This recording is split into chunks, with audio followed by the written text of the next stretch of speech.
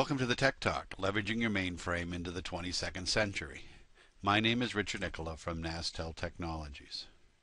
So we're going to look back today at the evolution of the mainframe and why the status quo really can't remain the same. We're going to talk about some strategies to operate in a modern serverplex, and then I'm going to do a quick introduction to autopilot for System Z. So one question you might have is what do I mean by a mainframe? Since there's lots of definitions and lots of images that come to mind when people mention mainframes. So specifically through this topic, I'm going to be talking about mainframes that leverage the System Z or, or ZOS architecture. So if we go back and look at the history of the of the mainframe and why it you know why it's had some of the resiliency that it has. I'm not here to give you a MIPS and and size and capacities and you know all of the varying sort of things uh, lecture today, but I wanted to kind of look more at the usage of the uh, of the mainframe in in computing. So if we kind of jump way back to when you know when they started, the main goals or the main sort of usage of the mainframe was specifically to house the the critical information of the of the customers. So you know, much as shown here with the castle and the kings is, you know, all of the information was centralized, it was owned, controlled, and managed uh, in a central spot and well fortified so that that information was secure and all of the things that were uh, related with it. But as time progressed, we saw a great increase in, in the distributed computing side in terms of, you know, needing information, more people wanting access to it, uh, more usages of that information, and so on. And so what we see here, of course, is that the, the villages, in addition to the castles, needed access to that information. And that's where middleware comes in, and Nastel's been involved with middleware throughout the uh, the evolution of, of uh, computing, and so no surprise that you know middleware plays a, a key role in being able to to to provide access both to the the information housed uh, still uh, you know, in the mainframe systems, as well as being able to distribute that information and use it across the serverplex. And if we kind of take that to the next step, of course, we now have cloud computing, and you'll notice here that in fact all of these uh, environments had cloud. So of course, cloud computing is the the obvious extension, where now, of course, we're providing that information wherever it's needed, you know, around the globe across the you know, all of the different application tiers and so on tied together by middleware. But this brings in a couple of new models of, of uh, management, and we'll talk a bit more about those as, as we go. So why can't we keep the status quo, right? So let me first start off by making a couple of assertions that I'll then come back and uh, and clarify, right? So the first one is that the mainframe is is going away.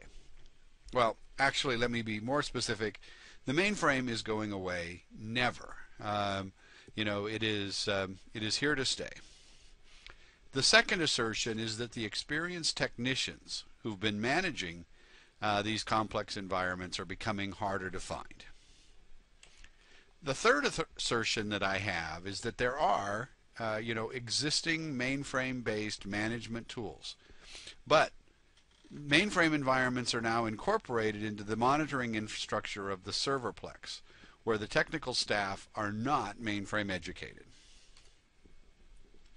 So, given those assertions, I see a couple of challenges, right? The first is how do we enable the server supplex support team to monitor the mainframe as part of their overall monitoring uh, infrastructure without turning them into um, into experts? So one of the questions I guess you might ask is I've used this term serverplex a couple of times. So, you know, what is a serverplex? Well, the serverplex is basically the set of servers now that are all operating together in order to, to basically manage or provide the uh, the cloud infrastructure and the components that represent the applications right it's it's not mainframe it's not distributed it's it's you know it's the entire uh, serverplex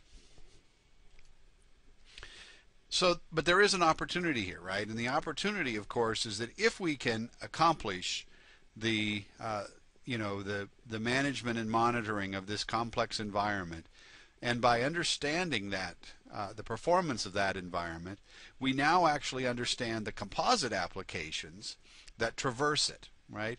And so, of course, once we do that, that provides better uh, customer service.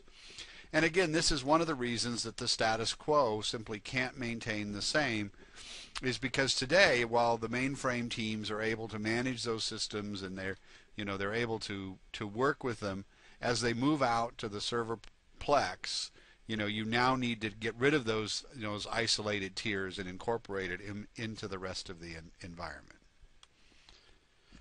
Okay, so let's look at the assertions that I made earlier in a little bit more detail. The first one, of course, is that the mainframe was never going away. Now, over the years, many people have predicted that the mainframes would go away, but in fact, they're they're still with us. Now, I you know I will make one caveat to this. Of course, this being uh, December of, of 2012, many people believe that the Mayans have predicted the end of civilization is going to occur on the 21st of December. Should that happen, then yes, the mainframes will go away. However, since most of you are probably listening to this after that date, I suspect that the mainframes are still with us. The second, of course, point here is that the mainframes continue to hold a very solid role uh, in the processing of data. Now there are new applications, and those new applications, you know, are using lots of clever techniques to present their information, to interact with the user. But many of those leverage uh, the data uh, that still exists on those mainframe systems uh, through those existing interfaces. Okay? Now, the other thing I would note here is there's a belief that the dinosaurs, in fact, didn't disappear, that they evolved, right? That, that birds are basically an evolution of dinosaurs, right? Well, in that same way, right, the, the mainframes themselves are no longer the big old clunky systems that people kind of think of, you know, that take up whole buildings and, you know, those sort of things. They're just like any other server. They're rack mounted. They can fit in the data center and be used exactly as needed when needed. Uh, and you know completely scalable and so on. So they've evolved as well to fill into that new uh, new new role. The second assertion, of course, is what is that the experienced technicians who've been managing these in, these complex environments are just becoming harder to find, right? Well, this is very clear that this is happening. Now, most people will agree that the mainframe experts, right, those that have years of experience working with the mainframe, are nearer at retirement age. And it's really the banking downturn that's that's kept, you know, many of those uh, individuals still in the marketplace working, right? So, you know, that in itself is is one reason they're still around, or in fact, we'd probably have a bigger shortage already today. And then, of course, the younger uh, technicians that are coming into the market, you know, they're looking at new opportunities, uh, you know, to, to, for for fortune, and they're not considering the mainframe as as something that they're interested in, which means, of course, that this this this set of individuals is going to uh, is going to decrease. When you combine that with the fact that while there are existing mainframe tools, that are out there that have been incorporated. The problem comes is that the technical staff are not mainframe uh, educated that now have to manage the serverplex. So they've brought they've come up through you know uh, college and and and and uh, original sort of op- uh, jobs where they were involved with more of the distributed, not the mainframe environment. They can recognize alerts. They can you know kind of understand that but they really don't understand perspective of what they mean to the applications and to the rest of the serverplex. And of course, the existing experts, the ones who are there, tend to leverage their existing 3270 style interfaces. So even if they were to walk through and help uh, someone actually understand what a problem was and what was going on, they're probably going to be using these interfaces which are foreign to the new uh, to the new workforce. Okay, so how do we have to change going forward? It's clear that we need to look at techniques and solutions to address the needs of the of the teams that are going to be supporting these environments. They need to have a better understanding of the composite application. These applications that are basically spread all over the serverplex, they're going to need to be managed and and you you know you have to be able to have visibility into into all of that. While the existing technologies, the existing things that the mainframe teams are doing are great, they create these silos of understanding and they need to be able to be distributed out across all of the teams that need to have uh, interest. Goal, of course, is to provide better customer service, increase the value of, of the IT processing to the business what can we expect to, to, to, happen? Clearly, rather than focusing on green screen applications, right, that, that isolate the data and the expertise, the new solutions have to combine data across all of those boundaries and, and use that to predict, to diagnose problems without any regard to platform or, or other boundaries within the environment. Now, they're going to be different because you know they're not going to be just event based integration. That's you know that's a good technique to centralize problems. But in reality, in this case, you need to be able to extract data. You need to be able to apply rules across that set of data. You need to be able to apply the expertise to that entire scope of information. So, as a simple example, right, you may see a spike in web processing ordering time. But the ultimate cause of that is a CICS transaction that's abending because there's a lack of, of disk space on an Oracle database somewhere. And, and you and you can't have three different teams all looking at their piece of the world trying to figure out what's going on in order to analyze that type of a problem. Now, what about those existing tools? They're not going to go away in, in, the near term. There are good reasons they still exist, and, and so we're going to have to be able to take that information. We're going to want to integrate that with the rest of the data and use that as a way to supplement the the management of the of the serverplex. In reality, the outlook is actually very promising. By incorporating these two worlds together. You're going to have the investment in the mainframe is going to continue to be leveraged. You're going to be able to adapt to the existing expert decline by filling those voids with, with new tools and not overwhelming the people that remain, right? Both either the mainframe people that are still in, that are there, or or the new staff that's responsible for the serverplex. You can't overwhelm them. But the ultimate, of course, is you still have to provide the same value of service uh, that you always have.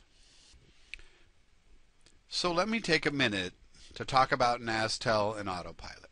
Autopilot provides for early warning of application performance problems. And that's nothing new. NASTEL has been involved in cross-application application performance monitoring uh, for many, many years, right? So the concept, while unique in this case, and we're also including ZOS, is no different than any other solution that NASTEL provides. So the value comes from the ability of NASTEL to correlate the real-time ZOS data with information from the web and the cloud and ultimately be able to search for patterns and look at problems uh, that are imp impacting the entire uh, serverplex from the view. And so this is one example here where we're looking at some of the different systems uh, that are operating within the serverplex. Specifically, Autopilot for System Z collects information from the ZOS systems themselves and analyzes it to determine the health uh, within the environment. And it discovers, monitors, and analyzes, you know, several of the key applications running on on ZOS and, and an example of that, we have you know IBM WebSphere MQ, we have CICS Transaction Server, uh, DB2, the, the ZOS systems itself. And if we look at some of the specific features that we offer, we have real-time monitoring, we have pre-built reports, we can capture information going to the system log into the console, we can identify the performance bottlenecks within the system, and of course, ultimately, our goal is to provide that predictive, proactive notification as well as automated actions based on user defined uh, policies. These are some of the examples uh, of different types of views that can be generated uh, either using you know custom views or the out of the box views that autopilot provides looking at the different areas of the uh, of the environment so if you have any questions, don't hesitate to contact us at any of the sources here, which Charlie's going to tell you about. Charlie? Thank you, Richard. That was quite insightful. I was wondering what happens in the 22nd century, and now I know. Hope everyone found this just as helpful, and if you have additional questions, you can forward them to me at crich at nastel.com. And I want to remind everyone that this is part of an ongoing series of Tech Talks covering both Java and WebSphere MQ and mainframe today. Our next one is on January 16th, and the title is Java Garbage Collection, CMS versus G1 in Java 7, a real world comparison. It's a long title. And Albert Mavashev, our CTO, will be leading that session. Thanks very much.